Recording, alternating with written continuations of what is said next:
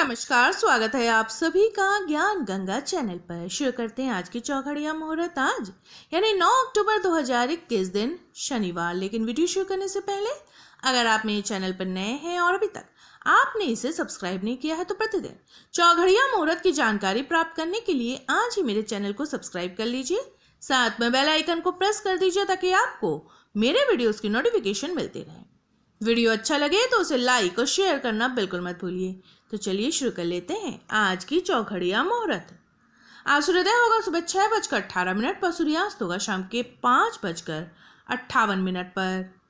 आज अभिजीत मुहूर्त का समय रहेगा सुबह ग्यारह बजकर पैंतालीस मिनट से बारह बजकर इकतीस मिनट तक और राहु काल का समय रहेगा सुबह नौ बजकर इकतीस मिनट से दस बजकर इकतालीस मिनट तक।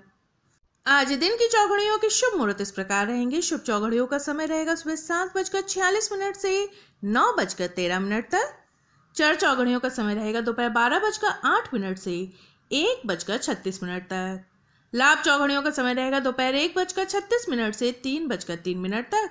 लेकिन इस समय वारवेला भी लग रही है और वारवेला के समय किए गए शुभ एवं मांगलिक कार्य फलदायी नहीं रहते। इसलिए इस मुहूर्त को त्यागना ही उचित है। अमृत चौघड़ियों का समय रहेगा दोपहर तीन बजकर तीन मिनट से चार बजकर तीस मिनट तक। अमृत चौघड़ियों के समय सभी प्रकार के शुभ एवं मांगलिक कार्य किए जा सकते हैं। आज रात की चौघड़ियों के शुभ मुहूर्त इस प्रकार रहेंगे। लाभ चौघड़ियों का समय रहेगा शाम के पाँच बजकर अट्ठावन मिनट से सात बजकर इकतीस मिनट तक। लेकिन इस समय कालात्री भी लग रही है और कालात्री के समय किए गए शुभ एवं मांगलिक कार्य फलदायी नहीं रहते। इसलिए इस मुहूर्त को त्यागना ही उचित है। शुभ चौघड़ियों का समय रहेगा रात के नौ बजकर तीन मिनट से दस बजकर छत्तीस मिनट तक। अमृत चौघड़ियों का समय रहेगा रात के दस बजकर छत्तीस मिनट से बारह बजकर आठ मिनट तक। अमृत चौघड़ियों के समय सभी प्रकार के शुभ एवं मांगलिक कार्य किए जा सकते हैं। चर चौघड़ियों का समय रहेगा रात के बारह बजकर आठ मिनट से एक बजकर इकतालीस मिनट तक और लाभ चौघड़ियों का समय रहेगा दस अक्टूबर की सुबह। चार बजकर छियालीस मिनट से छह बजकर उन्नीस मिनट तक।